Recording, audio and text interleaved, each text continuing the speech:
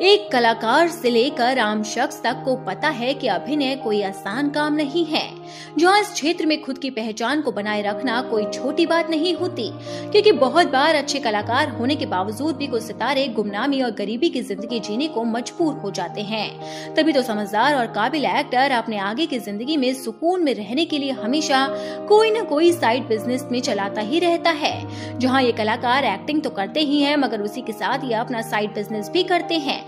ताकि अभिनय से पैसा ना कमा सकने पर ये बिज़नेस से कमाई कर सके। ऐसे में आज हम आपको छोटे पर्दे से कुछ कलाकारों से रूबरू कराने वाले हैं जो अभिनय के अलावा साइड बिज़नेस भी करते हैं। लेकिन वीडियो शुरू करने से पहले आप इन कलाकारों के लिए हमारे वीडियो को लाइक करना भूलना नहीं। नंबर एक शिल्पा शिंदे। छोटे पर्दे की अंगूरी भाभी यानी कि अभिनेत्री शिल्पा शिंदे को तो याद ही होंगे आप, जिन्होंने अपने लटके झटकों से दर्शकों को घायल करने पर मजबूर कर दिया था। मगर शिल्पा शिंदे एक ज़बरदस्त अदाकारा होने के साथ साथ एक फ़ैशन डिज़ाइनर भी है, जो मुंबई में अपने फ़ैशन स्टोर को संभालती है। नंबर दो, शब्बीर आलूवालिया।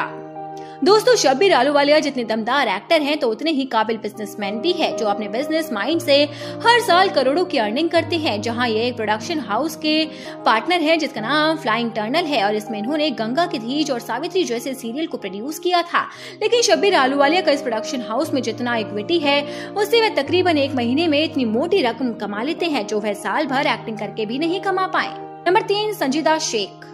बॉलीवुड फ़िल्मों और छोटे पर्दे पर काम करने वाले खूबसूरत संजीदा शेख ने भी अपने खर्चों को पूरा करने के लिए एक साइड बिज़नेस खोल रखा है, जो फ़िलहाल इन्हें पति से अलग होने के बाद फाइनेंशियली काफ़ी हेल्प कर रहा है। जी हाँ मुंबई में संजीदा ने एक हाई फाई सैलून खोल रखा है, जिसका नाम इन्होंने अपने नाम पर संजीदा पार्लर रखा हुआ है। नंबर चार, मोहित मलिक। एक्टर मोहित मलिक छोटे पर्दे के वह शानदार और जानदार अभिनेता हैं, जिन्होंने सीरियल कुल्फी कुमार बाजेवाला में सिकंदर गिल की सराहनीय भूमिका निभाई थी। लेकिन हम आपकी जानकारी के लिए बता दें कि मोहित मलिक भी एक्टिंग के साथ साथ अपने बिज़नेस को संभालने का काम करते हैं, जहाँ इन्होंने भरपूर पैसा कमाने के लिए दो बिज़नेस को ओपन किया हुआ है, जो की कैफ़े है, जिसका नाम इन्होंने वन बी के तो दूसरा नाम हैंड्स अप कैफ़े है।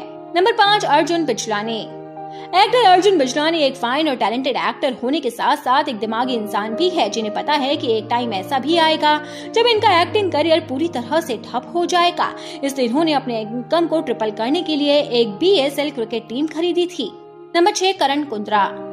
टीवी सीरियल को छोड़ फ़िल्म और रियलिटी शो की तरफ़ रुख करने वाले एक्टर करण कुंद्रा भी एक बिजनेसमैन हैं, जिन्होंने जालंधर के एक इंटरनेशनल कॉल सेंटर खोल रखा है, जिसका टर्नओवर इन्हें करोड़पति बनाता है। तो दोस्तों, इन स्टार्स के साइड बिज़नेस के बारे में जानकर आपका क्या कहना है, आप हमें कमेंट बॉक्स में कमेंट कर ज़रूर बताएँ, और साथ ही टीवी इंडस्ट्री ऐसी जुड़ी ऐसी ही मज़ेदार खबरों को जानने के लिए हमारे चैनल को सब्सक्राइब करना ना भूलें।